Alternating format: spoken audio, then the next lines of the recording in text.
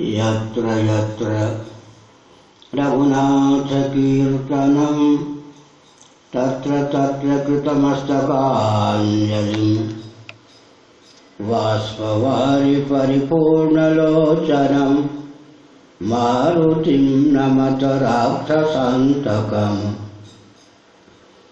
नामापि ते च मधुरं मधुरं स्वरूपम्।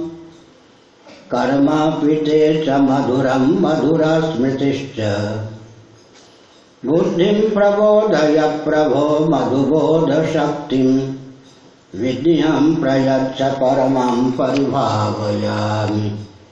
कोमलं कूजयन् वेणुं श्यामलोऽयं कुमारकः, वेदवेद्यं परं ब्रह्म भासतां हृदये मम।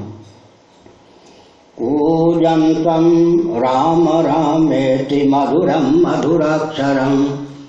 आरुह्य कविता शाखां वंदे वाल्मीकिकोकिलम् निगमकल्पतरोर्गलितं फलं शुकमुखादमृतद्रवसंयुतम्। पिबत भागवतं रसमालयं मुहुरहो रसिका भुवि भावुकाः तृणादपि सुनीचेन तरोरपि सहिष्णुना। अमानिना मानदेन कीर्तनीयः सदा हरिः।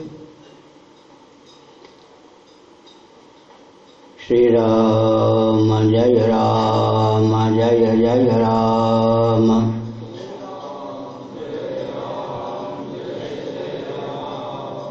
धर्म की अधर्म का प्राणियों में विश्व का गौ माता की गोहत्या भारत अखंड सर्वभूत हृदय धर्म सम्राट श्री स्वामी करपात्री जी महाराज की। श्री जगन्नाथ महाप्रभु की। श्री बलभद्र महाप्रभु की भगवती सुभद्रा देवी की हर हर महादेव। गोविंद जय जय, गोपाल जय जय।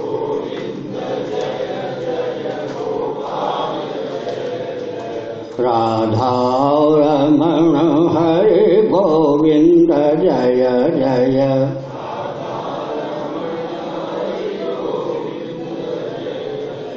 श्री कृष्ण गोविंद हरे मुरारे।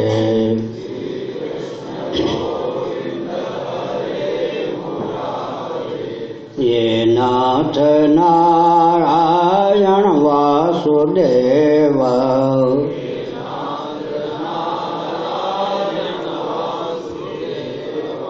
गोविंद जय जय गोपाल जय जय गोविन्द जय जय, गोपाल जय जय। राधा रमण हरे गोविंद जय जय।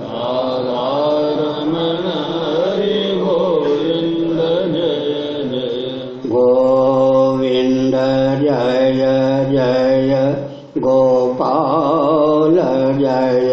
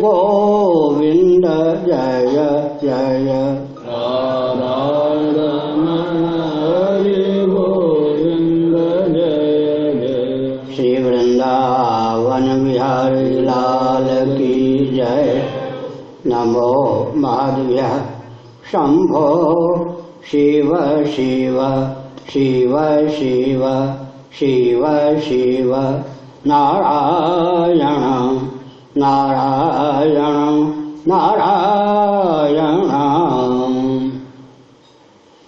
कोई खास विषय है क्या?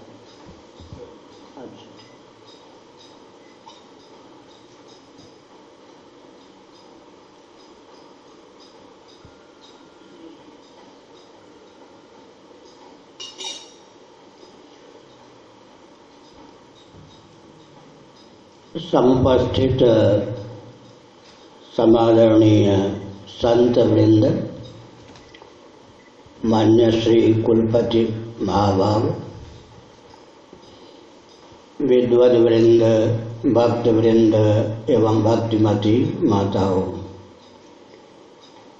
आप, महान भावों ने अद्भुत, अपनत्व, आस्था उत्साह और आह्लाद पूर्वक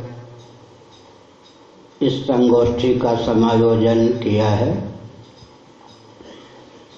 इस संगोष्ठी के समायोजन में गुप्त अथवा प्रकट जिन महान भावों का योगदान है।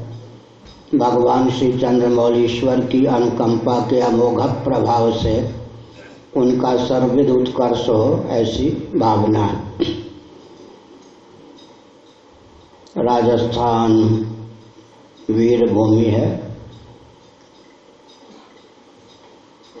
भारत को भारत के रूप में उद्भाषित करने में इसका महत्वपूर्ण योगदान रहा है।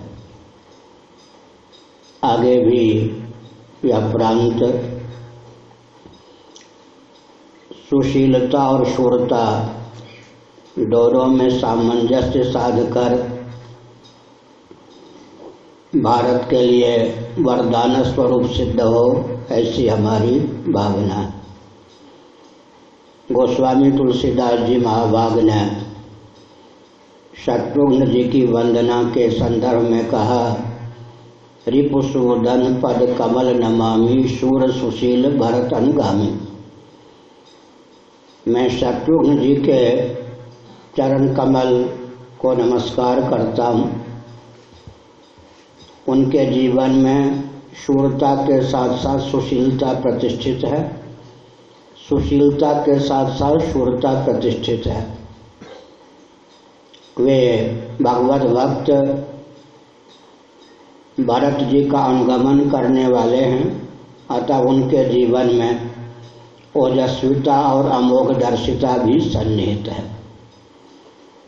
यदि ये चारों गुण जीवन में प्रतिष्ठित हो जाएँ तो भारत भारत के रूप में ख्यापित शीघ्र ही हो सकता है? गिने चुने व्यक्ति सही, लेकिन चार गुणों से संपन्नता अपेक्षित है।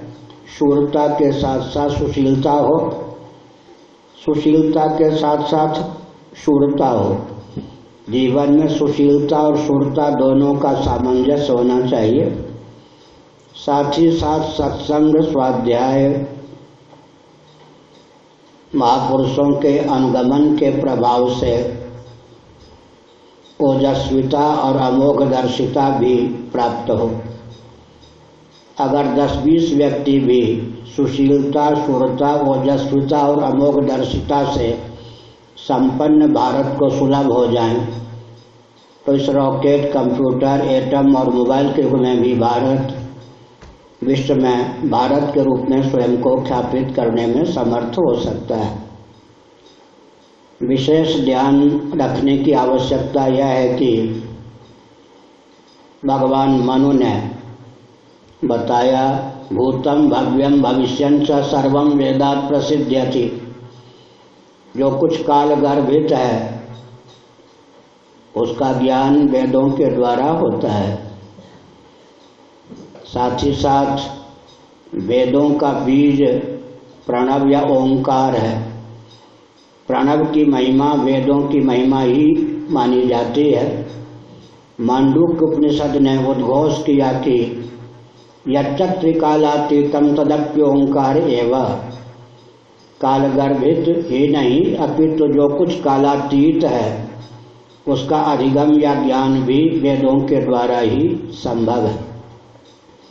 पूरे विश्व को अर्थशास्त्र, धर्मशास्त्र काम शास्त्र मोक्ष शास्त्र चिकित्सा शास्त्र गणित शास्त्र वास्तु विज्ञान यह सब वेदों के द्वारा ही सुलभ हुआ। बौद्धों ने सनातनियों के एक सिद्धांत को अपने शब्दों में गुम्फित करते हुए कहा, तत्व पक्षपातो ही स्वभावो दिया बुद्धि का या जीव का स्वभाव होता है तत्व का पक्ष लेना। बुद्धि सदा तत्व का पक्ष लेती है। जीव स्वयं भी सत्य का ही पक्षधर होता है। तो गुप्त या प्रकट रीति से पूरा विश्व इस बात को मानता और जानता है कि भोजन, वस्त्र, आवास, शिक्षा, स्वास्थ्य, यातायात, उत्सव, त्योहार, रक्षा, सेवा, न्याय, विवाह आदि के जितने प्रशस्त विज्ञान हैं सब वैदिक महर्षियों से विश्व को प्राप्त हुए।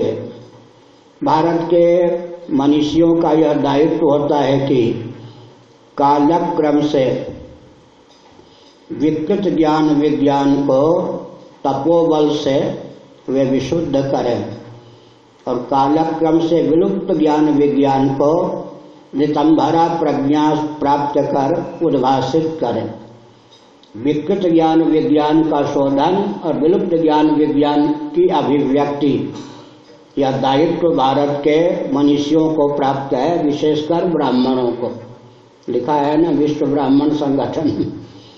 ब्राह्मणों का यह दायित्व है कि कालक्रम से विकृत ज्ञान विज्ञान को विशुद्ध करें और विलुप्त ज्ञान विज्ञान को समाधि भाषा में प्राप्त कर लौकिक धरातल पर उसे उद्भाषित करें।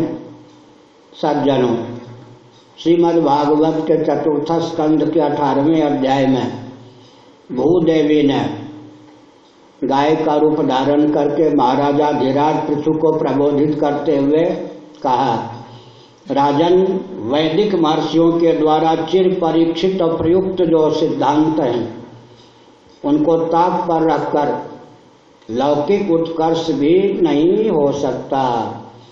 पारलौकिक उत्कर्ष और मोक्ष की गाथा तो अत्यंत सुदूर है।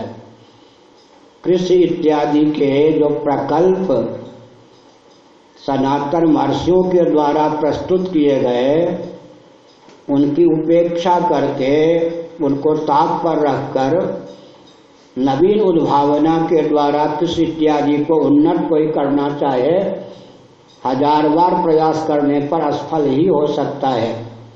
हाथ कंगन को आर्शिक या सावधान। वेद विहीन विज्ञान के पक्षधर महान भावों ने विश्व स्तर पर विकास को जिस ढंग से परिभाषित किया है, क्रियान्वित किया है, उसके गर्भ से विनाश प्राप्त हो रहा है। आप महान भाव इस बात को अच्छी प्रकार समझते हैं कि पृथ्वी, पानी, प्रकाश और पवन, ऊर्जा के आस्तिक, नास्तिक वह सम्मत चार स्रोत हैं। आज पृथ्वी, पानी, प्रकाश और पवन, ऊर्जा के चारों स्रोत विकृत हो रहे हैं, दूषित हो रहे हैं, शुद्ध या कुपित हो रहे हैं। इसलिए विश्व स्तर पर महासन्निपात की प्राप्ति होने जा रही है। अतः इस रॉकेट, कंप्यूटर मोबाइल के एटम के युग में भी सनातन, त्रिकालदर्शी, वैदिक महर्षियों के द्वारा चिर परीक्षित और प्रयुक्त जो उपाय हैं, उन्हीं को क्रियान्वित करने की आवश्यकता है। पहले उन्हें समझना चाहिए, फिर समझ कर उसे विकसित करने का प्रयास करना चाहिए। उन प्रकल्पों को क्रियान्वित करने का प्रयास करना चाहिए। या जो सृष्टि है, अपने आप में विचार करके देखें तो कृषि विज्ञान का समग्र स्वरूप प्राप्त हो सकता है। भगवान के समाश्रित त्रिगुणमयी प्रकृति होती है, जिसको वेदांत प्रस्थान में भगवान की शक्ति कहते हैं। भगवान अपनी शक्ति भूता त्रिगुणमयी प्रकृति के द्वार से ही पार्थिव प्रपंच तक की संरचना करते हैं। फलावसानम जगत, भगवत पाल शंकराचार्य महाभाग ने अपने भाष्यों में लिखा, पृथ्वी सबसे अंतिम कार्य है। इसमें शब्द, स्पर्श, रूप, रसगंध पाँचों प्रकार की संपदा सन्निहित है। शब्द स्पर्श रूप रसगंध इन पाँचों गुणों से युक्त पृथ्वी है। उसी से वृक्षादि की अभिव्यक्ति हुई है।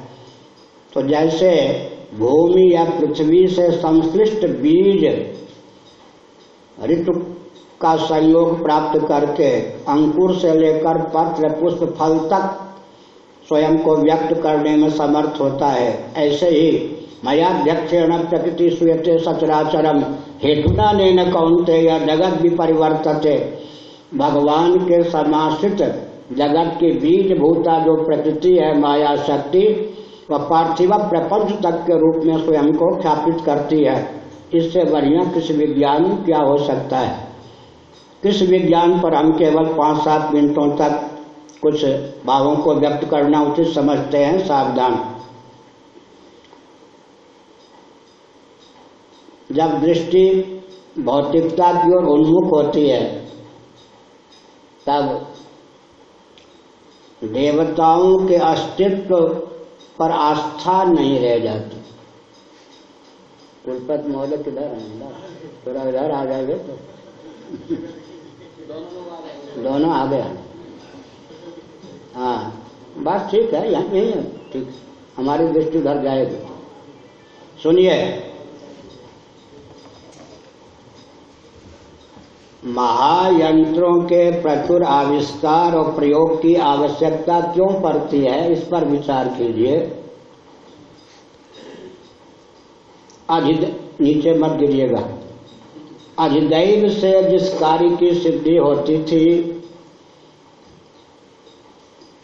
उसको जब हम यंत्रों के माध्यम से साधना चाहते हैं, तब महायंत्रों के प्रचुर आविष्कार और प्रयोग की आवश्यकता प्रतीत होती महायंत्रों के आविष्कार का पहला नियम यही है, जिन कार्यों की सिद्धि अधिदैव से होनी चाहिए, उन कार्यों को जब हम यंत्रों के माध्यम से ही सिद्ध करना चाहते हैं, तब महायंत्र के आविष्कार की भावना का उदय होता है।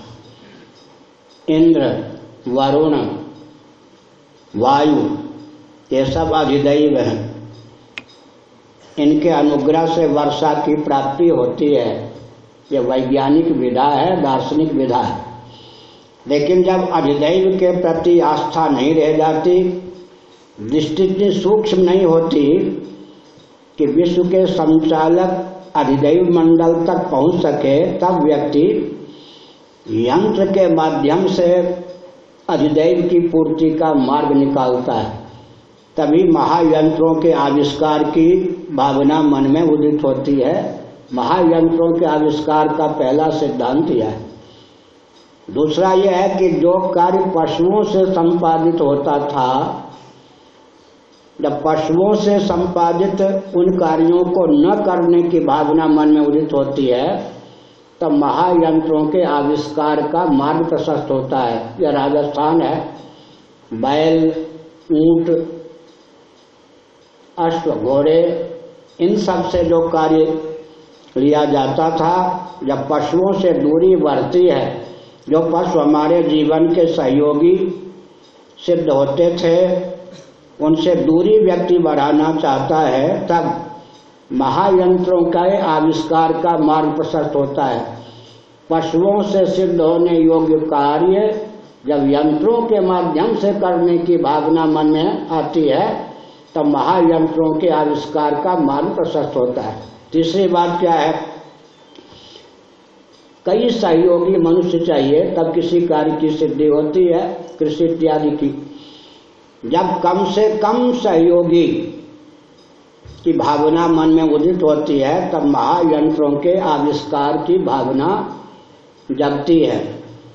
तो अधिदैव निरपेक्ष, पशु निरपेक्ष, सहयोगी मनुष्य निरपेक्ष जीवन की भावना ही महायंत्रों के आविष्कार का मूल कारण है।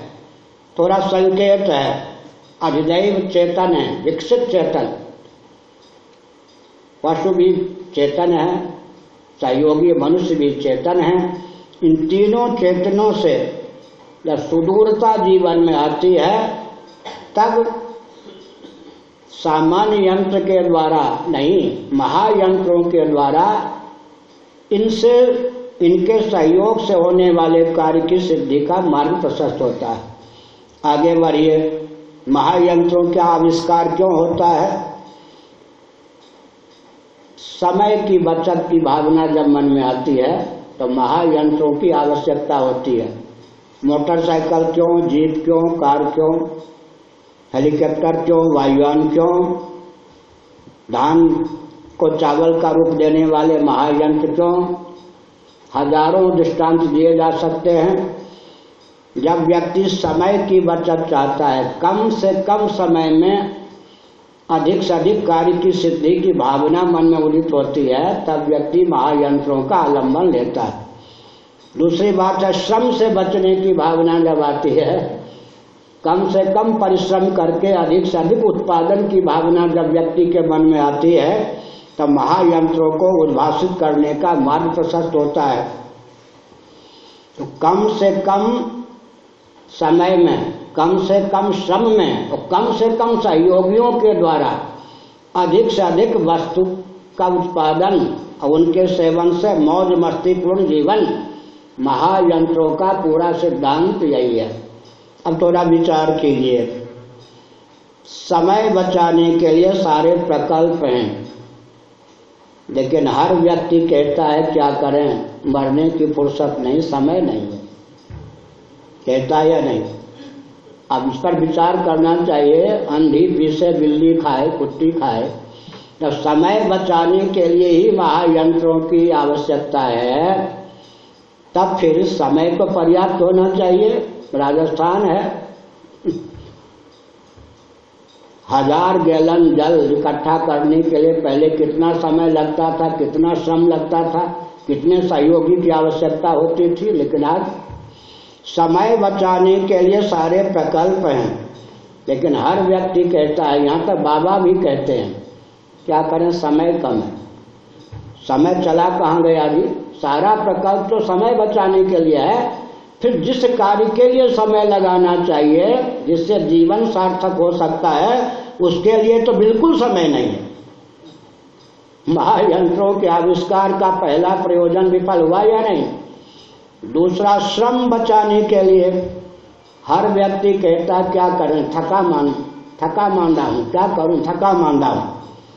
अरे, श्रम बचाने के लिए महायंत्रों का उपयोग कर रहे विनियोग कर रहे लेकिन हर व्यक्ति अपने को थका मांदा मानता है। और हर संस्था, चाहे विश्व स्तर के ब्राह्मण संगठन बना लीजिए, हर व्यक्ति कहता है, संस्थान तो बना लिया, लेकिन सहयोगी व्यक्ति नहीं। हर परिवार के व्यक्ति रोते हैं, क्या करें? सहयोगी व्यक्ति नहीं है। इसका मतलब क्या हुआ? लक्ष्य के विपरीत सिद्धि हुई या नहीं? जो लक्ष्य महायंत्रों के आविष्कार के पीछे सन्निहित था, उपलब्धि ठीक उसके विपरीत। समय नहीं। हर व्यक्ति थका मांदा अपने को अनुभव करता है और हर व्यक्ति कहता है, घर चले तो कैसे चले, कार्यालय चले तो कैसे चले? और प्रधानमंत्री कहते हैं, राष्ट्र को चलाऊं तो कैसे चलाऊं? सहयोगी नहीं। इसका अर्थ क्या हुआ?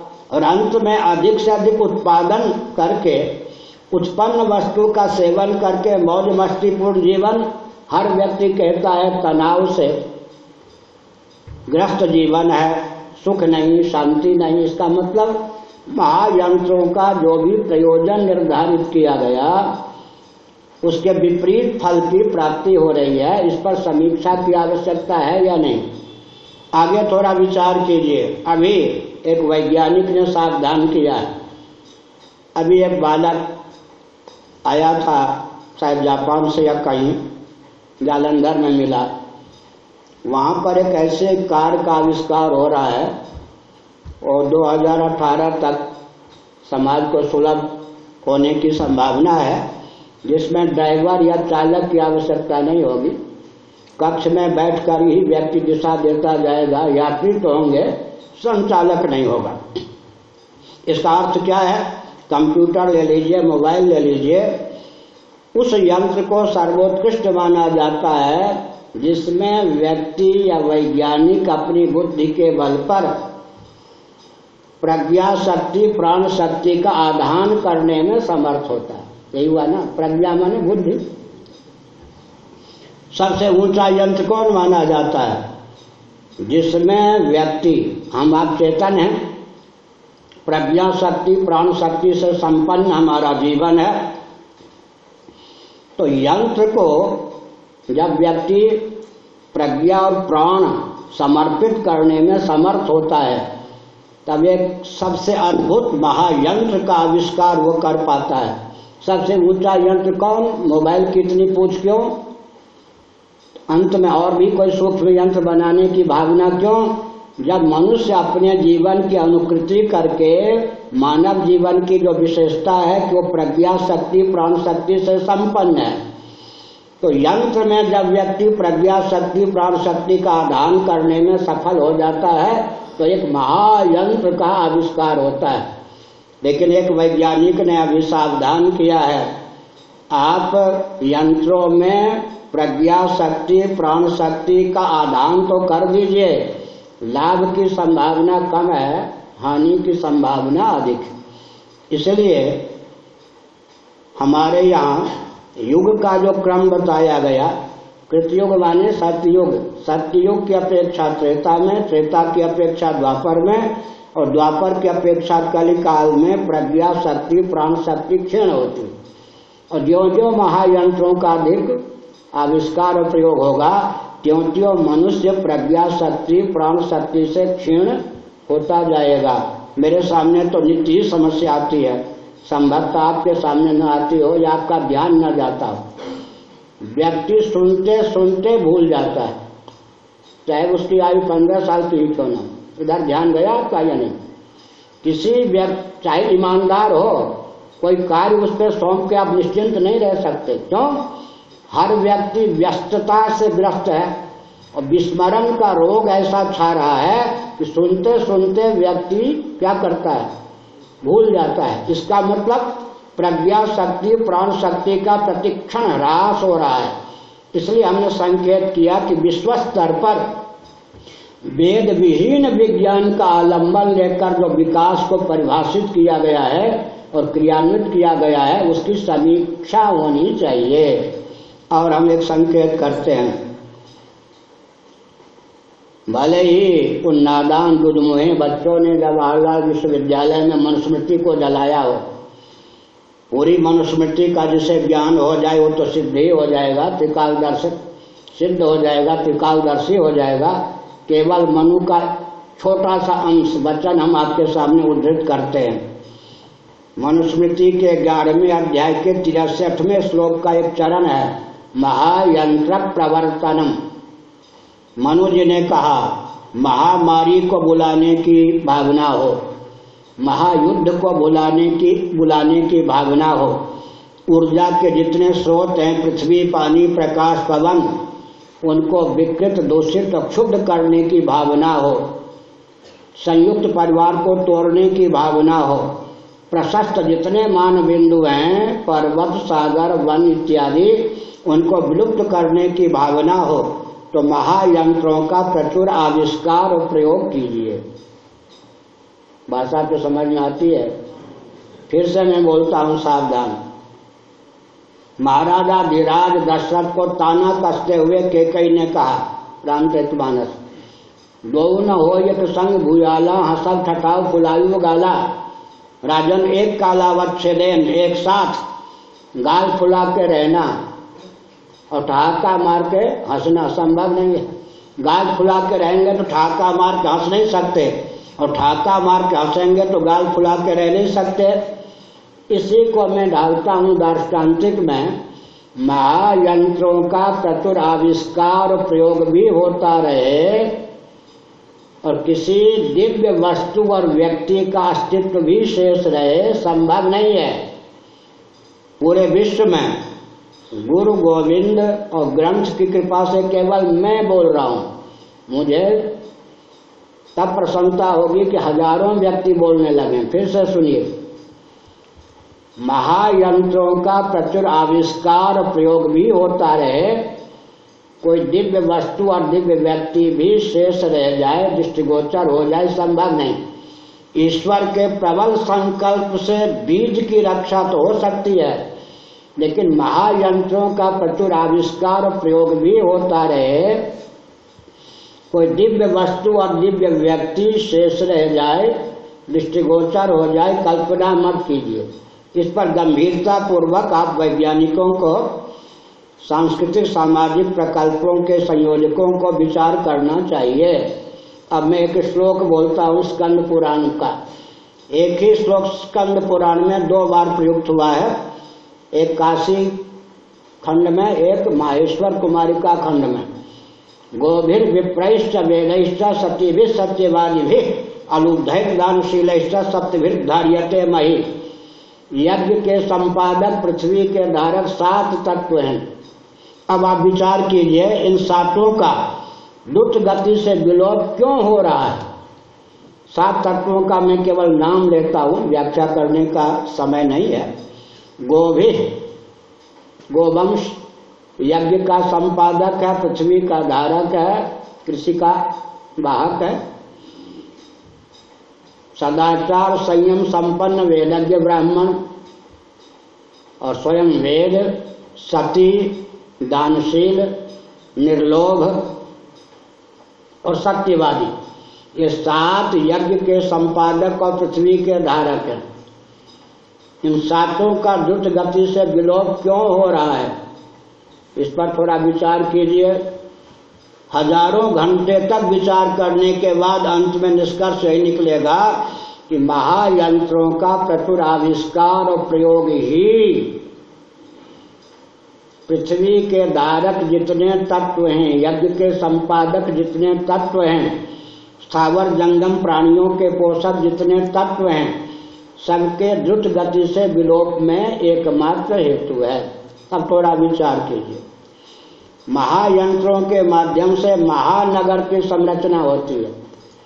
महायंत्र ना हो तो महानगर की संरचना हो ही नहीं। और महानगर का अर्थ क्या होता है जी? यहाँ शुद्ध मिट्टी सुलभ ना हो, शुद्ध पानी सुलभ ना हो, शुद्ध प्रकाश सुलभ ना हो, शुद्ध पवन सुलभ ना हो, प्रचुर आकाश सुलभ ना हो। उसी का नाम महानगर होगा या नहीं? शुद्ध मिट्टी, पानी, प्रकाश, पवन और प्रचुर आकाश सुलभ न हो। आगे बढ़िए। शुद्ध मुस्कान सुलभ न हो। सिनेमा के एक्टर, एक्ट्रेस से मुस्कान आप सीख लीजिए। सचमुच में महानगर के व्यक्ति शुद्ध मुस्कान से विहीन होते और शुद्ध मनोभाव सुलभ न हो। और संयुक्त परिवार की जहाँ पहुँच न हो।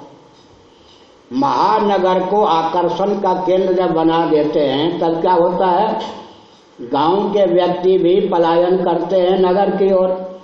वन में रहने वाले व्यक्ति भी पलायन करते हैं नगर की ओर।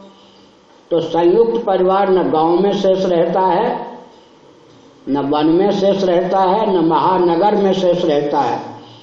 महानगर का अर्थ है, जहाँ संयुक्त परिवार टिक न सके। और संयुक्त परिवार के विलुप्त होने का फल क्या है जी? कुल वधु कुल देवता कुल गुरु कुलाचार।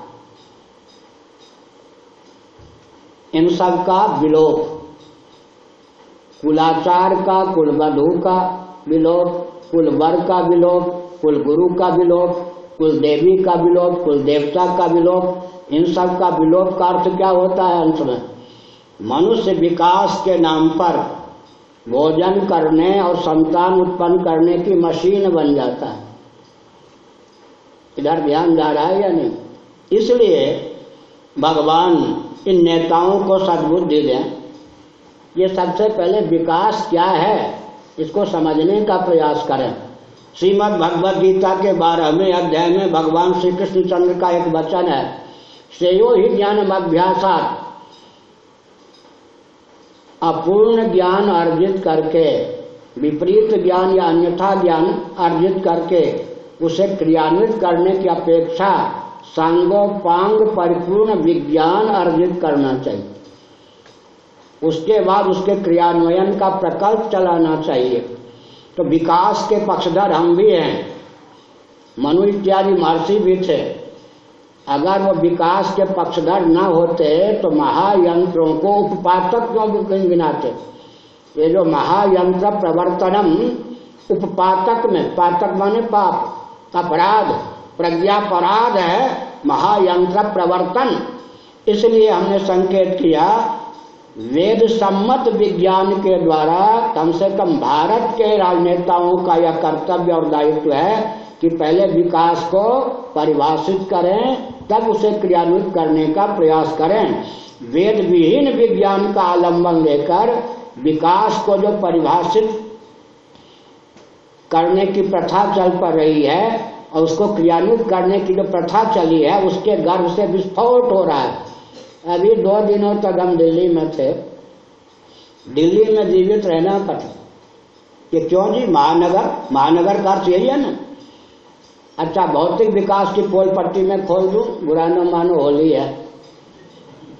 परमात्मा से दूरी बढ़ाइए, आप विकसित माने जाएँगे आजकल विकास की पहली परिभाषा है, जो अपने जीवन को परमात्मा से जितना सुदूर ले जाएगा तो उतना विकसित माना जाएगा।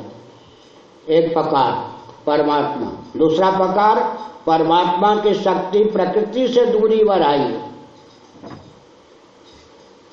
ठीक? तीसरा प्रकार, पंचभूत आकाश वायु तेल जल पृथ्वी, हमने बताया महानगर का अर्थ क्या होता है? तीसरा प्रकार है, पंचभूतों से दूरी बढ़ाइए। उसके बाद क्या है? पुण्य से दूरी बढ़ाइए, परहेज कीजिए। पुण्य माने धर्म। धोखे में भी धर्म ना हो जाए। क्योंकि पुण्य करेंगे तो हम विकसित नहीं माने जाए आजकल यही मान्यता है, धर्म निष्पक्षता का अर्थ क्या होता है? और अंत में पुण्यात्मा से दूरी बढ़ाइए। संत महात्मा पुण्यात्मा से दूरी बढ़ाइए। तो बोलिए इसका नाम विकास है या विनाश?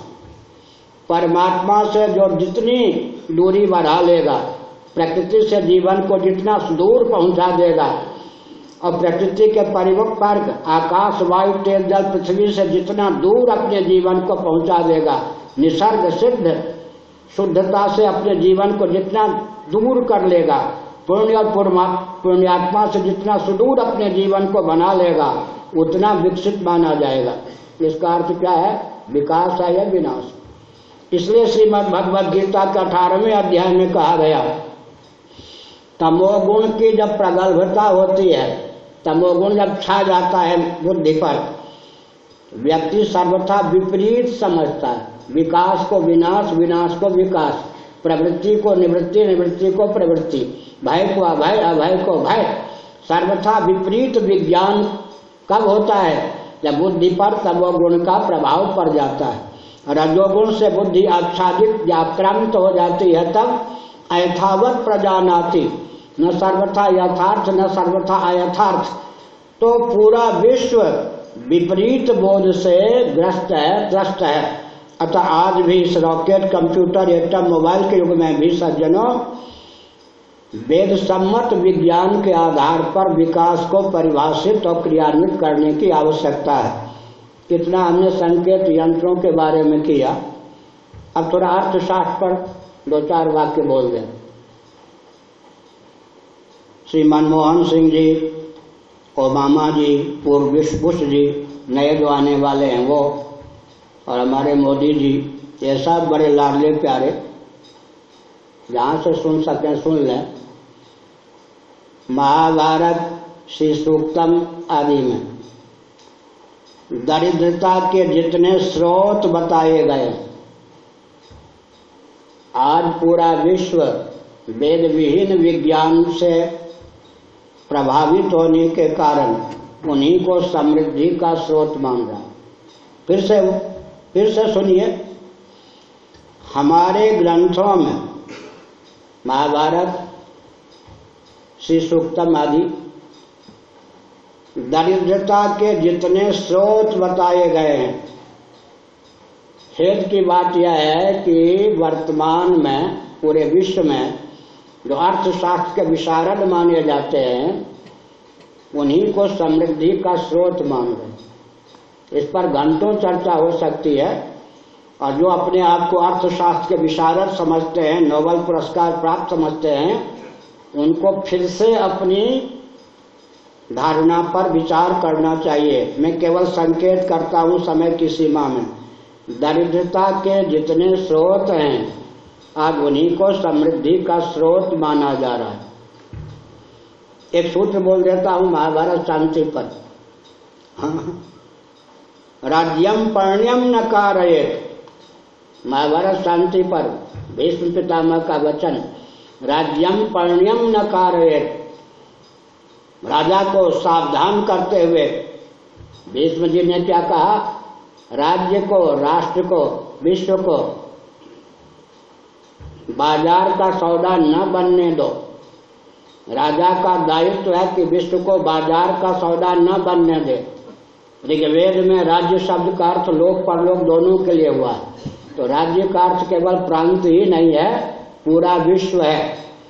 फिर से सुनिए भीष्म जी ने सावधान किया, राज्यम पर्ण्यम न कार्य राज्य को पर्ण्य, बाज़ार का सौदा न बनने दे।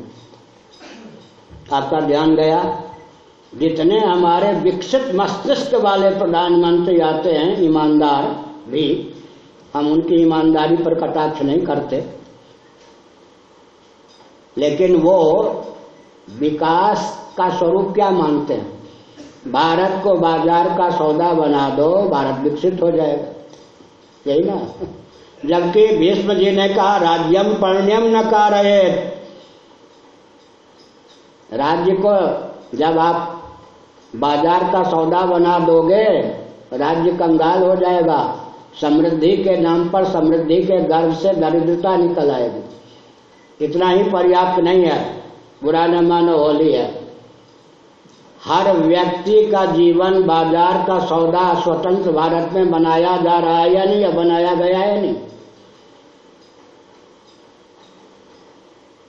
आपका दोष नहीं है, लेकिन आप पुत्र पौत्र को पुत्री पौत्री को विद्यालय क्यों भेजते हैं? आप निरीक्षण कीजिए। कम से कम स्वयं को धोखा नहीं देना चाहिए। स्वयं धोखे में नहीं रहना चाहिए। ये जो विद्यालय पर कटाक्ष नहीं कर रहा। विद्यालय जो भेजते हैं घर के बच्चों को, किस भावना से? इसकी पढ़ाई पर इतना खर्च होगा? उसके कम से कम एक हज़ार गुना कमाएगा।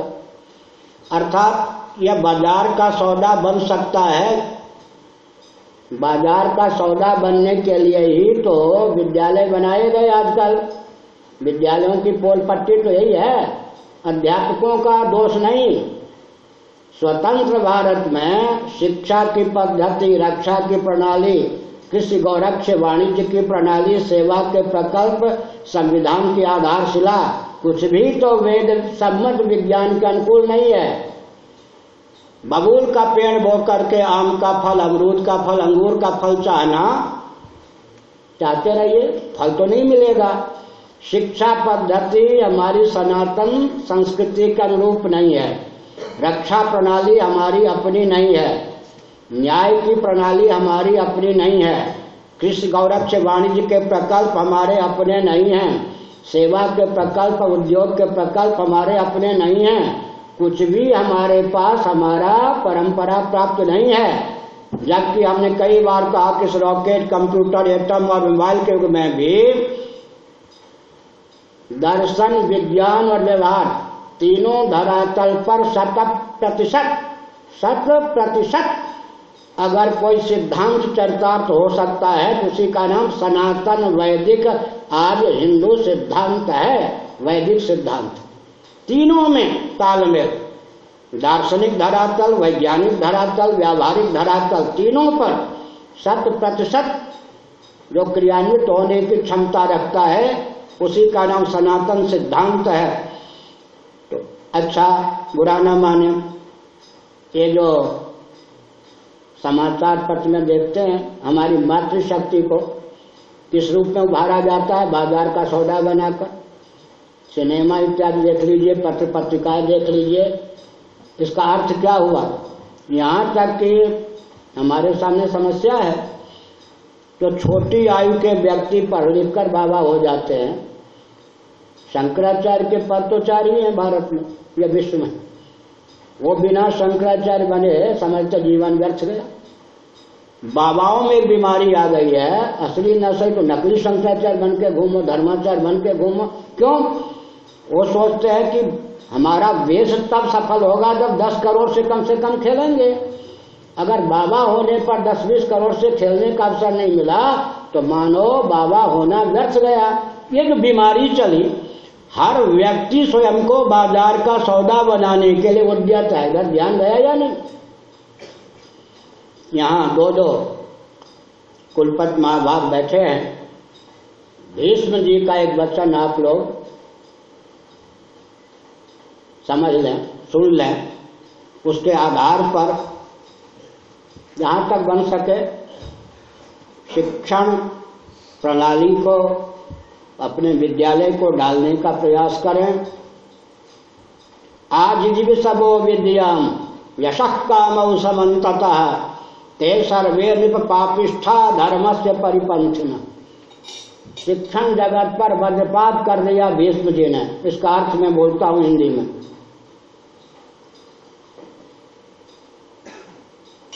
सबो विद्या यशक काम समत ते सर्वे निप पापिष्ठा धर्म से परिपंथिना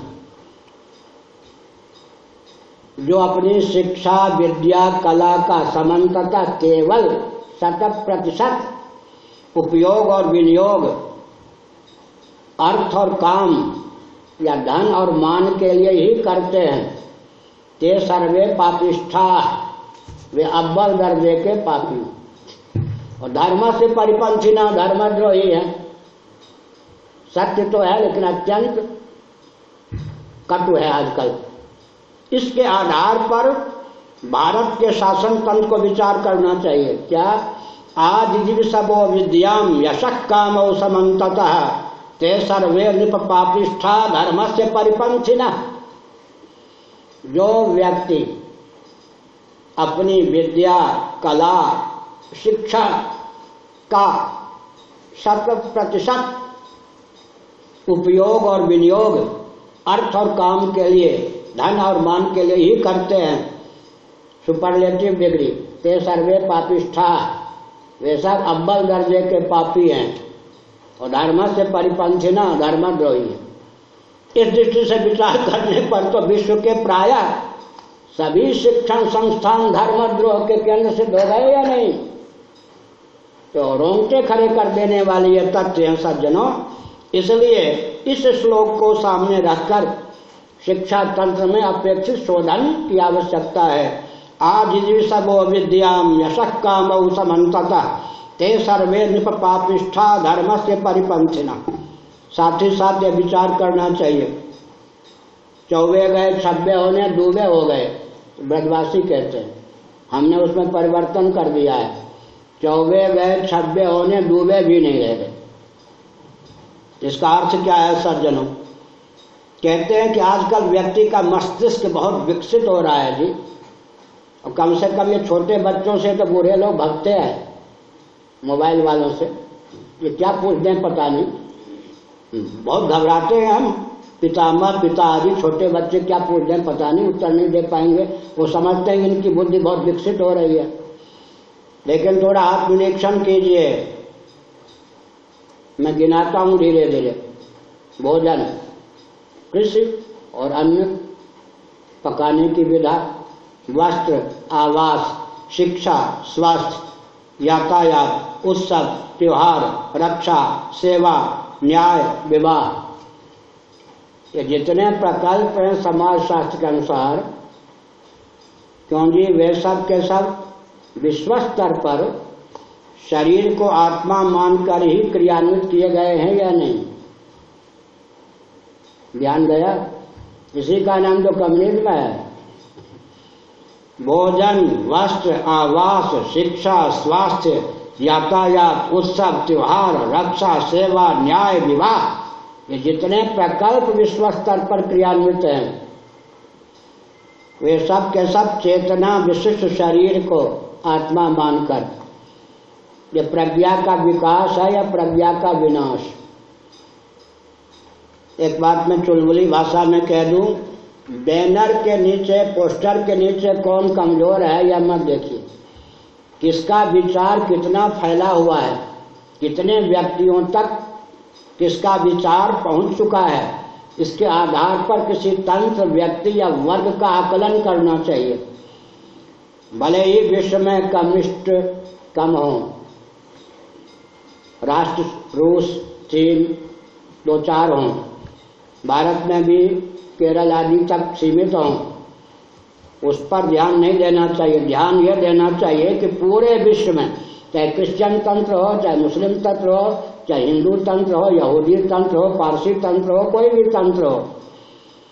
जो कुछ न कुछ धर्म और अध्यात्म से अपने को जुड़े मानने वाले हैं, उन सबको विचार करना चाहिए कि विश्व स्तर पर हर देश के शासन तंत्र के द्वारा भोजन, वस्त्र, आवास, शिक्षा, स्वास्थ्य, यातायात, उत्सव, त्योहार, रक्षा, सेवा, न्याय और विवाह आदि के जो प्रकल्प चलाए जा रहे हैं वो शरीर को आत्मा मानकर चलाए जा रहे या नहीं?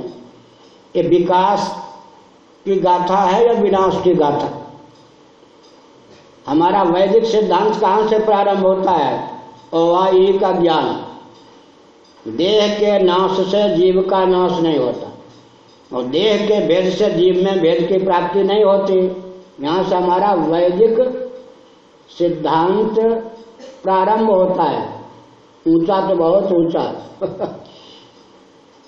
सबसे प्राथमिक सिद्धांत क्या है? वेद मार्ग पर, वैदिक मार्ग पर चलने के लिए इतनी समझ इतनी निष्ठा आवश्यक है कि देह के नाश से जीव का नाश नहीं होता, देह के भेद से जीव में भेद की प्राप्ति नहीं होती। उदाहरण ले लीजिए हाथ कंगन को आरसी किया। कितने साल के हो गए पंडित जी? अड़तीस साल में एक साल में कदाचित आपने दस ही स्वप्न देखा हो। तो अड़तीस अड़तीस साल में कितने स्वप्न हो गए? तीन सौ अस्सी। हो गए या नहीं? किसी व्यक्ति की आयु अड़तीस है, कदाचित उस व्यक्ति ने एक साल में दस ही स्वप्न देखा हो तो अड़तीस साल की अवधि में, अड़तीस वर्षों की अवधि में 380 उसके स्वप्न के शरीर नष्ट हो गए या नहीं? लेकिन अपना नष्ट वह नहीं मानता। इससे सिद्ध होता है डंके की चोट से कि देह के नाश से जीव का नाश नहीं होता। शरीर की संख्या 380 लेकिन अपने को 380 मानता है ये, एक मानता है। इसी उदाहरण के बल पर डंके की चोट से यह भी तथ्य ख्यापित हो गया कि देह के वेद से जीव में वेद की प्राप्ति नहीं होती। यह हमारा प्राथमिक विज्ञान है। बहुत ऊँचा सिद्धांत हम लोग बोले तो लोग भागना शुरू कर देंगे। उसको सहने की क्षमता नहीं है। जितना ऊँचा वैदिक सिद्धांत हम लोगों को मालूम है, उसको पचाने सुनने की क्षमता भी हर व्यक्ति में नहीं है। सबसे प्रारंभिक सिद्धांत हमारा यह है कि देह के नाश से जीव का नाश नहीं होता। देह के भेद से जीव में भेद की प्राप्ति नहीं होती, तभी तो श्राद्ध, तभी तो तर्पण, तभी तो संध्या बंधन तभी तो स्वर्ग तभी तो नरक की मान्यता है, तभी तो पाप से परवेज और पुण्य के अनुष्ठान की भावना है। लेकिन पूरे विश्व में, ये जो मैंने प्रकल्प बताया, भोजन, वस्त्र, आवास, शिक्षा, स्वास्थ्य, यातायात, उत्सव, त्योहार, रक्षा, सेवा, न्याय, विवाह इत्यादि के प्रकल्प हैं, सब के सब शरीर को आत्मा मान करके हैं या नहीं? तो बुद्धि का विकास हो रहा है या विलोप हो रहा है? इस पर विचार कीजिए। शरीर के नाश से आत्मा का नाश नहीं होता है, जो ये मानता है, उसके जीवन में जितनी ऊर्जा आ सकती है, मेधा शक्ति जिसकी, उसकी इतनी उद्दीप्त हो सकती है, उतनी ऊर्जा, उतनी मेधा शक्ति का संचार उस व्यक्ति के जीवन में हो ही नहीं सकता, जो शरीर को ही आत्मा मानता है। इसलिए हमने संकेत किया, घर बैठे ही हर व्यक्ति को नास्तिक श्रोमण बनाया जा रहा है। और एक बात और सुन लीजिए। स्वप्नावस्था में वह कोई घटना घट नहीं सकती। उस दृश्य का दर्शन हो नहीं सकता, जिसको देखने की क्षमता, सुनने की क्षमता हमारे मन में सन्निहित न हो। मन की योग्यता का परित्याग करके स्वप्न में कोई घटना घट ही नहीं सकती है। किसी वस्तु का दर्शन हो ही नहीं सकता है। इसी प्रकार आजकल लाचारी क्या है? जो शिक्षा पद्धति प्राप्त है, उसके आधार पर तो बुद्धि विकसित होती है ना? बुद्धि बनती किसके आधार पर? शिक्षा के आधार पर। वर्तमान शिक्षा पद्धति शरीर को आत्मा मान करके क्रियान्वित है। अतः धर्म मार्ग पर, अध्यात्म के मार्ग पर चलने योग्य बुद्धि का ही विलोप हो रहा है। थोड़ा वैज्ञानिक ढंग से एक और वाक्य और हम कह दें सावधान। महायंत्रों का जितना प्रचुर आविष्कार प्रयोग होता है, उसके गर्भ से भाव जगत में क्या विस्फोट प्राप्त होता है? मनुस्मृति और नारद परिव्राजकोपनिषद में धर्म का पहला लक्षण दिया गया है सज्जनों धृति, धैर्य। और महायंत्रों का प्रचुर आविष्कार प्रयोग होने पर धैर्य का विलोप होता है या नहीं? सिरहाने के पास पानी चाहिए या नहीं? शौचालय चाहिए पाँव के पास या नहीं? हर तरह से मैंने कह दिया, संकेत किया। इसका मतलब महायंत्रों का प्रचुर आविष्कार और प्रयोग होने पर व्यक्ति न चाहता हुआ भी सुविधा भोगी इतना हो जाता है कि धर्म और अध्यात्म के मार्ग पर, न्याय के मार्ग पर ईमानदारी के मार्ग पर, स्वस्थ क्रांति के मार्ग पर चलने योग्य उसके जीवन में क्षमता नहीं रह जाती।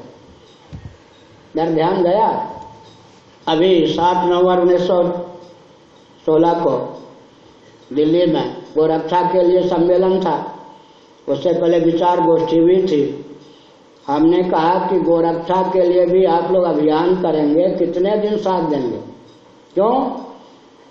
श्री अन्ना हजारे जी को ले लीजिए, किसी को भी ले लीजिए। आजकल व्यक्ति के जीवन में उतना धैर्य नहीं है कि दीर्घ काल तक कोई संघर्ष मोल ले सके। सत्याग्रह का अभियान भी दीर्घ काल तक चला सके या नहीं? छह महीने में धैर्य का विलोप हो जाता है। कहीं न कहीं जाकर राजनीतिक दल के चंगुल में व्यक्ति फंस जाता है। इसलिए सबसे बड़ी हानि यह हुई कि धर्म पर चलने के लिए, अध्यात्म पर चलने के लिए धैर्य की पराकाष्ठा चाहिए।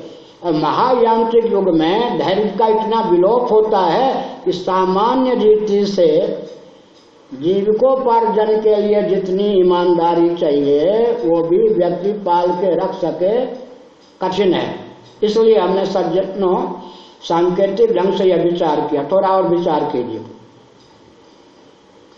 नारियल का पेड़, तार का पेड़ देखा है ना? उसकी लंबाई ज़्यादा होती है। तार के पौध में कितने वर्ष में आप लोग कृषि वैज्ञानिक हमें परीक्षा नहीं लेता। कितने वर्ष में फल लगते होंगे? ताल के, तार के पेड़ फल लगता है कितने वर्ष में? एक एक साल में तो नहीं लगता है ना? ठीक। प्रकृति ने उसको लंबाई दी है, जीवन भी दीर्घ दिया। अच्छा वट का वृक्ष ले लीजिए। कोलकाता में एक ऐसा वट का वृक्ष है, और उज्जैन में, और प्रयाग में अक्षय वट सिद्ध वट, कलकत्ता में एक वट का वृक्ष है। हज़ारों वर्ष प्राचीन है। तो वट का जो वृक्ष होता है, उसमें जो फल लगता है, बहुत बाद में लगता है। लेकिन भगवान ने प्रकृति की ओर से ये व्यवस्था की है, आप धान की खेती करते हैं, अगर 12 वर्ष में उसको फल लगे तो भूखे मर जाए व्यक्ति इसलिए अन्न के द्वारा मनुष्यों का पोषण हो सके, पशुओं का पुआल इत्यादि के द्वारा पोषण हो सके, जितने काल की बचत चाहिए प्रकृति ने अपनी ओर से करके दी है या नहीं? वो सुन रहे हैं ना? आपका विषय जो था वो बैंक वाला। ताल के पेड़ में दीर्घ काल में फल लगता है। बरगद, बट के वृक्ष में दीर्घ काल में फल लगता है। उतने समय अगर धान में, गेहूँ में, चना में, मटर में, जौ में, अरहर में फल लगे तो मनुष्य दाने दाने के मोहताज हो जाए। इसलिए पशुओं के जीवन को देखते हुए, मनुष्यों के जीवन को देखते हुए जितने समय की बचत होनी चाहिए, प्रकृति जो भगवान की शक्ति है, उसकी ओर से पहले ही कर दी गई है। अब ज़्यादा बुद्धि का उपयोग क्या हो रहा है, समझ गए?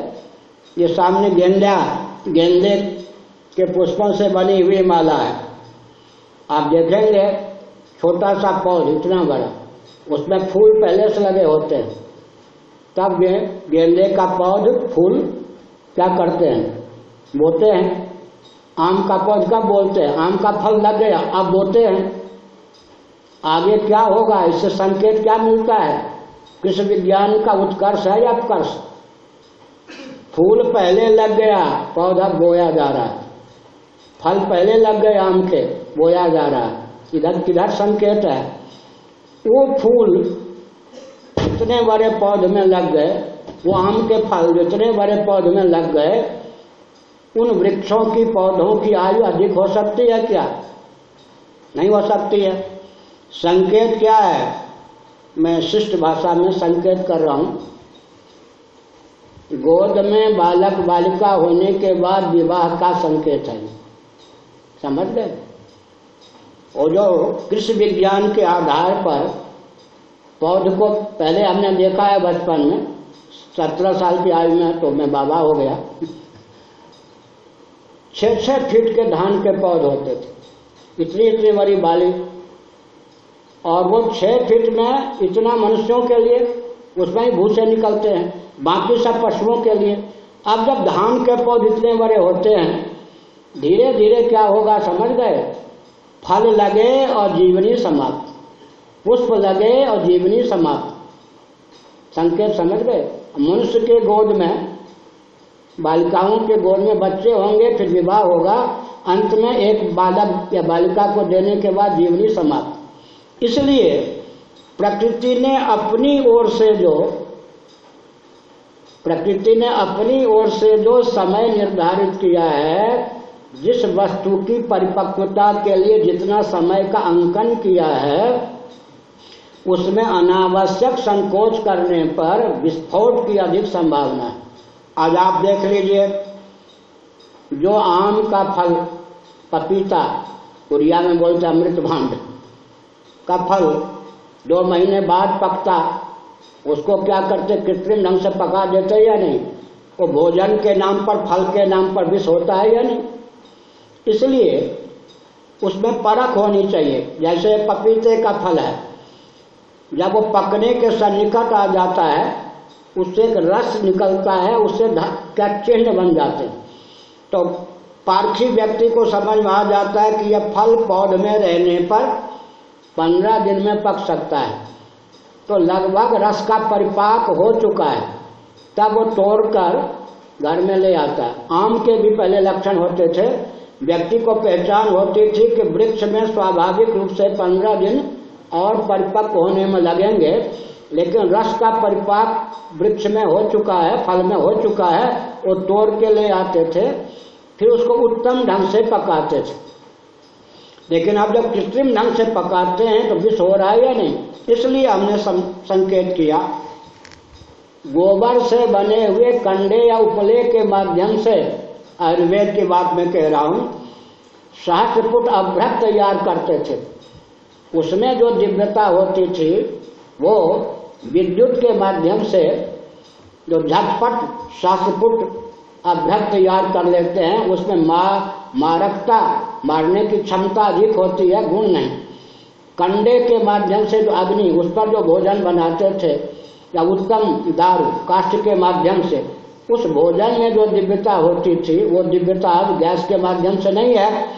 इसी प्रकार मट्ठे मट्ठा तक्र। में पानी डाल के कुछ दिन रख करके उसके छिड़काव करने से जो कृषि विज्ञान के लिए, पौध के लिए घातक कीटाणु बनते ही नहीं थे और पृथ्वी की ऊर्जा ऊर्जा शक्ति बढ़ती थी। एक आपको मालूम होगा, किसी की ज़मीन बटाई पर कोई ले ले एक एकड़। वो क्या करता है? दो साल के लिए बटाई पर उसने लिया। अब नमकीन पानी छिड़क करके उस भूमि में रहने वाली ऊर्जा शक्ति को, उर्वरा शक्ति को वो उभार देता है। खूब अनाज पैदा कर लेता है। वो भूमि बंजर बना के किसान जो मालिक है उसको सौंप देता है।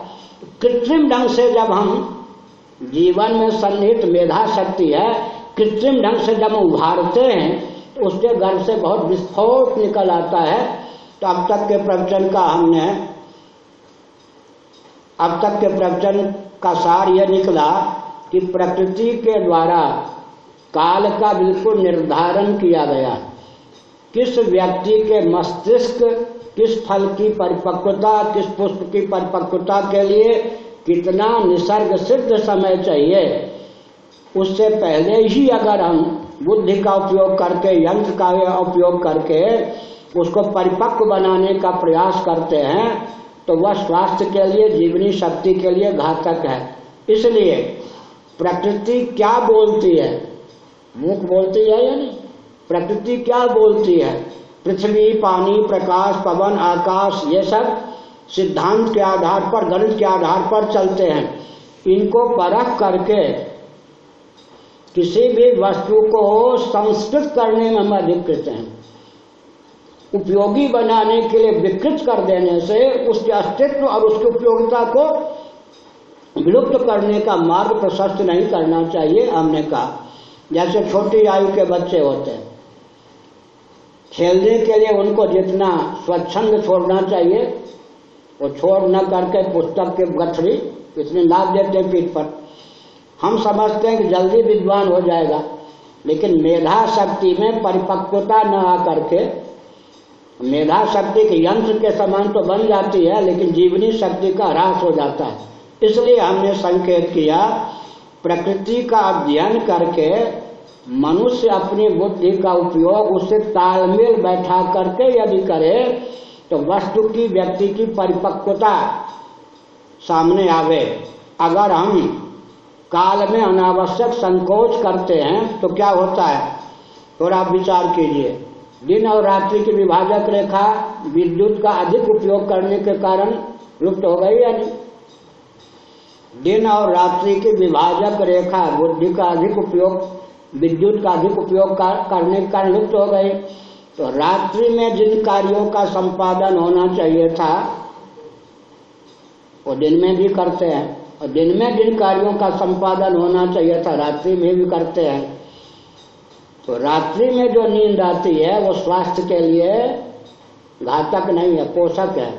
और दिन में जो नींद आती है, वो स्वास्थ्य के लिए अत्यंत मारक है। सूर्य उसकी आयु को क्षीण कर देते हैं। तो काल के साथ हमने छेड़छाड़ किया या नहीं? पृथ्वी को धारण करने वालों में एक काल भी है। मैं एक उदाहरण देता गुप्त रीति से, सांकेतिक भाषा श्रीमद भागवत। पतिव्रता बीती थी। उसके पति श्रोत्रीय ब्रह्मनिष्ठ कश्यप महर्षि कुर्सी से इतना मत सटिए कि आपको नींद ही आ जाए। नींद आना भी प्रवचन में बहुत सौभाग्य की बात है। कैप्सूल लेने से, इंजेक्शन लेने से भी जिनको नींद नहीं आती है। अगर प्रवचन सुनने पर नींद आ जाती है तो बहुत अच्छी बात है। लेकिन थोड़ा ध्यान देना चाहिए। सुभद्रा जी के घर में बाल गोपाल अभिमन्यु थे। अर्जुन ने चक्रव्यूह का वर्णन प्रारंभ किया, गर्भगत शिशु को लक्ष्य में रखकर। चक्रव्यूह में एक क्षत्रिय वीर कैसे प्रविष्ट होता है? जहाँ तक वर्णन किया वहाँ तक सुन सकी सुभद्रा जी अब अर्जुन बोलते जा रहे थे, एक योद्धा वीर चक्रव्यूह को विदीर्ण कर कैसे निकलता है? तब तक नींद आ गई सुभद्रा जी अब गर्भ का बालक अभिमन्यु उतना ही समझ सका। चक्रव्यूह में घुसने तक की विद्या आ सकी, कला आ सकी, बाकी माँ के सो जाने पर गर्भ शिशु भी सो गया, पांडवों को वनवास इत्यादि मिल गया। ननिहाल में पलते रहे कौन? अभिमन्यु। गदा युद्ध आदि तो सीखा, लेकिन चक्रव्यूह को विदीर्ण करके निकलने की विद्या किसी ने बताई नहीं कला। वो माँ के प्रमाद ने तेरहवें दिन के युद्ध में चक्रव्यूह में प्रविष्ट अभिमन्यु को मारने के लिए बाध्य कर दी। इसका मतलब है, सोना अच्छा है, कैप्सूल इंजेक्शन की ज़रूरत नहीं पड़ती, लेकिन सोना कभी कभी कथा इत्यादि में खोना भी हो जाता है।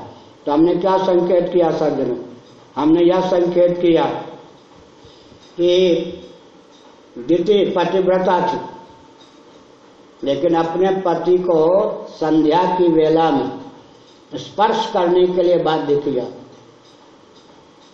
उस प्रमाद के कारण, जिस कार्य की सिद्धि जिस समय होनी चाहिए, उस कार्य की सिद्धि उस समय न हो तो कितना बड़ा विस्फोट होता है, उसके गर्भ से दो आतंकवादी उत्पन्न हुए, हिरण कशिपो हिरण्याक्ष। अब कई मुचकर न्याय से यह तथ्य सिद्ध है दिन और रात्रि की विभाजक रेखा कृत्रिम ढंग से जब हमने विलुप्त कर दी है तो कितने आतंकवादी घर घर में पैदा होंगे, इसकी कल्पना की जा सकती है। कितने जेल बनाएँगे, कितने बंदूक बनाएँगे, क्या होगा? हमने संकेत किया। इसीलिए अब लगभग दस मिनट की सीमा में प्रवचन को विराम भी देना है। थोड़ा सावधान। विश्व में कृत्रिम ढंग से जो विकास के पक्षधर हैं उनके लिए मैं महाभारत का एक श्लोक और बोलता हूँ।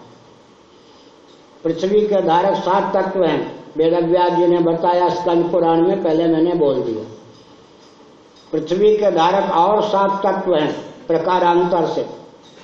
धर्म कामश्च कालश्च वसुर वासुकिरेव अनंत कपिलश्च सप्तते धरुणी धरा महाभारत। थोड़ा धीरे से बोलूँगा। सात पृथ्वी के धारक। पृथ्वी का अर्थ है, जितने स्थावर प्राणी हैं, तरलता गुल इत्यादि, और जंगम प्राणी हैं, चलने फिरने वाले पशु पक्षी चीटी आदि। सबको धारण करने वाली पृथ्वी। और प्रकारांतर से यज्ञ का संपादन होने पर शेष जितने भुवन हैं, सबका पोषण पृथ्वी के द्वारा ही होता है। अरे श्राद्ध कौन करते हैं? मनुष्य। तर्पण कौन करते हैं? मनुष्य। सबको राशन पानी कौन पहुंचाते हैं? यज्ञ के द्वारा, तर्पण के द्वारा, श्राद्ध के द्वारा। भारत की मुद्रा अमेरिका भेजेंगे तो डॉलर के रूप में कन्वर्ट करने की ज़रूरत होगी या नहीं? इसी प्रकार यहाँ जो वैदिक विधा के अनुसार यज्ञ करते हैं, श्राद्ध करते हैं, उन सब सामग्री की पहुँच देवता, पितर तक, उनका खाद्यान्न बनकर अमृत ही उनका खाद्य क्यों ना हो, पेय क्यों ना हो बनकर वो वैदिक विधा से उनको प्राप्त होती है सामग्री। तो हमने क्या संकेत किया सज्जन हमने संकेत यह किया कि केवल काल का विस्फोट दो आतंकवादी पैदा हुए, पृथ्वी को धारण करने वाले सात तत्व हैं। धर्म धर्म पृथ्वी को धारण करता है। धर्म का अर्थ क्या होता है जी? धारणा, धर्म। कहा लिखा है? महाभारत कर्म पर्व, शांति पर्व और मत्स्य पुराण। धारक तत्व का नाम धर्म है। जिस गुण धर्म के रहते किसी वस्तु या व्यक्ति का अस्तित्व और उसकी उपयोगिता संभव हो, उसका नाम धर्म है। पुण्यो गंध पृथ्व्याम। पृथ्वी पृथ्वी कब तक है? जब तक उसमें पवित्र गंध है। महाप्रलय का समय आता है। श्रीमद भागवत द्वादश स्कंध। बारहवा स्कंध में प्रलय का वर्णन किया गया है। भगवान क्या करते हैं? जल, पृथ्वी का कारण जल। जल में वह बल और वेग भर देते हैं कि पृथ्वी निष्ठ, भूनिष्ठ गंध नामक गुण को वह जल कर्षित कर लेता है। गंध विहीन पृथ्वी तत्काल पानी के रूप में परिणत हो जाती है। फिर भगवान तेज में वह बल और वेग भर देते हैं कि आपोनिष्ठ जलनिष्ठ रस नामक गुण को तेज कर्षित कर लेता है। रस विहीन जल तत्काल तेज बन जाता है। तो हमने क्या संकेत किया? धर्म उसको कहते हैं, जिसके कारण किसी वस्तु का या व्यक्ति का अस्तित्व और उसको उपयोगिता सिद्ध हो। यज्ञ दान तक इसी प्रकार से निसर्ग सिद्ध गुण धर्म पृथ्वी के धारक और अंतरंगवाद कह दें। परमात्मा जो हमारी इच्छा के सचमुच में विषय है कोई भी व्यक्ति विश्व में ऐसा है जो ईश्वर को न मानता हो। कह सकते हज़ारों हैं लाखों हैं आजकल। सच्ची बात यही है क्या? विश्व में कोई भी ऐसा मनुष्य नहीं जो ईश्वर को न मानता हो। उदाहरण के लिए, एक दुनमुहा बच्चा है, वो भाषा जानता नहीं। प्यास लगने पर उसकी माँ ने उसे पानी पिलाया। अब किसी ने कहा तेने पानी पिया? सर देता पानी तो पिया, लेकिन जिसके पीने से प्यास की निवृत्ति हुई, उसका नाम पानी है बेचारा जानता नहीं। दक्षिण में चले जाइए नीरू, तन्नी ऐसा बोलते हैं। अब नीरू, तन्नी वाले या वाटर वाले को कहें, पानी पिया, वो तो जानते नहीं, यूँ कर देंगे। इसी प्रकार से जो व्यक्ति कहता है कि मैं ईश्वर को नहीं मानता, सचमुच में वो भी ईश्वर को मानता है। क्यों? ईश्वर कौन है? हर प्राणी की चाह का जो निसर्ग सिद्ध विषय है, उसका नाम ईश्वर है। नर, बंदर, चीटी, पक्षी, सबको ले लीजिए। आस्तिक, नास्तिक भाजपाई कांग्रेसी सबको ले लीजिए। हर व्यक्ति की, हर जीव की चाह का पहला विषय क्या है? ऐसा जीवन जहाँ मौत की छाया भी न पहुँच सके। मृत्युंजय पद, अमृतत्व, हर जीव की चाह का विषय क्या है? अज्ञान विनिर्मुक्त, जड़ता विनिर्मुक्त, अखंड विज्ञान, हर जीव की चाह का विषय क्या है? दैहिक, दैविक, भौतिक, ताप से विहीन अखंड, आनंद, इसी का नाम तो भगवान है। सत्यम ब्रह्म, ज्ञानम ब्रह्म, आनंदम ब्रह्म, आनंदो ब्रह्म, हमारी आपकी चाह के विषय का नाम ही भगवान है। उसका कारण क्या है? प्रत्येक अंश स्वभाव स्वभावता अपने अंशी की ओर आकृष्ट होता है। ये माला में गंध नामक गुण है। एक गंध युक्त माला को बल और वेग लगाकर ऊपर फेंक देंगे। बल और वेग के निरस्त होने पर यह माला पृथ्वी की ओर आकृष्ट होगी। क्यों? ये पार्थिव है पृथ्वी का कार्य है। प्रत्येक अंश अपने अंशी की ओर आकृष्ट होता है। अमेरिका में जिस भवन पर आतंकवादियों ने आक्रमण किया या करवाया 110 मंजिल का भवन था। 110वीं मंजिल पर भी यांत्रिक विधा का आलंबन लेकर जल पहुँचाया जा चुका है। वहाँ भी टोटी को खोलेंगे तो जल की धारा नीचे की ओर अप्लावित होगी। प्रज्वलित कीजिए दीप दीप की शिखा ऊपर जाएगी। क्यों? वो कौन है? अंशी सूर्य। वो कौन पानी का अंशी कौन है? महोदय समुद्र। प्रत्येक अंश स्वभाव तो अपने अंशी की ओर आकृष्ट होता है। जीव के अंशी शरीर जो भगवान है, उन्हीं की ओर हमारा आपका आकर्षण है। इसलिए धर्म पृथ्वी के धारक हैं। काम पृथ्वी का धारक है। धर्मामृत भूतेषु कामोषु भरता सब शास्त्र सम्मत काम के द्वारा हित प्रजा की अभिव्यक्ति होती है। काल पृथ्वी का धारक है। वसु और वासुकी अर्थ के देवता यह अर्थ पृथ्वी का धारक है।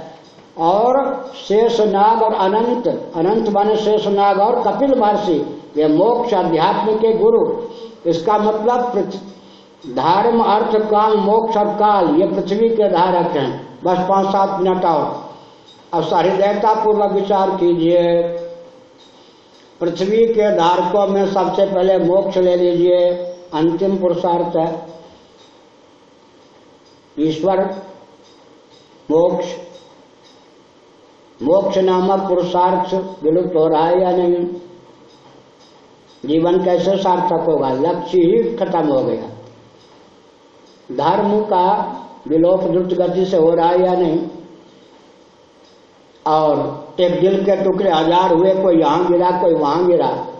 सिनेमा के आधार पर, पत्र पत्रिका के आधार पर उन्मादपूर्ण जीवन, उसमें काम कहेंगे। धर्मा विरुद्ध हो भूतेषु कामों भरतर सभा।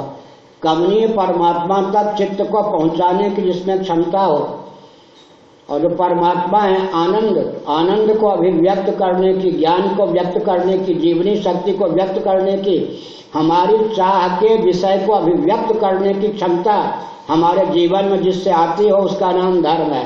धर्म का भी द्रुत गति से विलोप हो रहा है। अब रह गए काम का मैंने कह दिया, इसका नाम उन्माद है, काम नहीं है।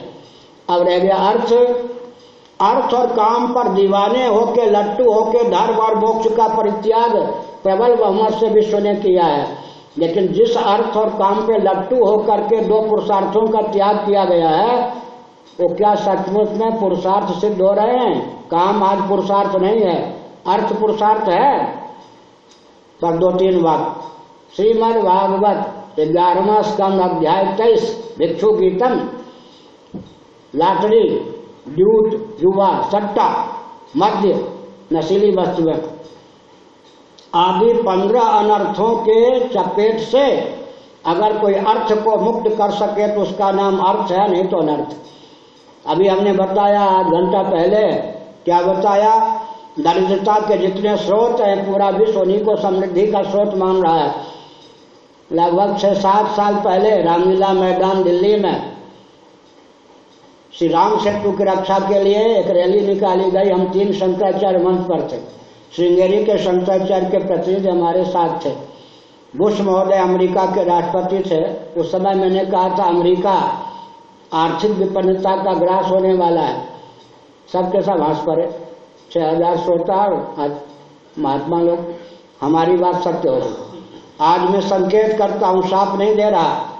अर्थशास्त्र की दृष्टि से मैं पूरे विश्व को संकेत करता हूँ। दाने दाने के लिए पूरा विश्व विशेषकर भारत मोहताज होगा, जैसे कि बैन के शासनकाल में।